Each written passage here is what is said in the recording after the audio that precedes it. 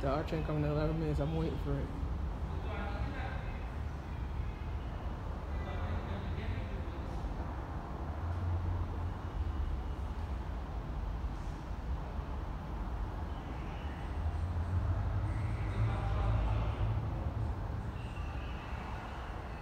Attention everyone, R trains are running on the Q line between 57th Street, 7th Avenue and Lexington Avenue, 63rd Street, and on the F line between Lexington Avenue, 63rd Street and Jackson Heights, Roosevelt Avenue because of station improvements.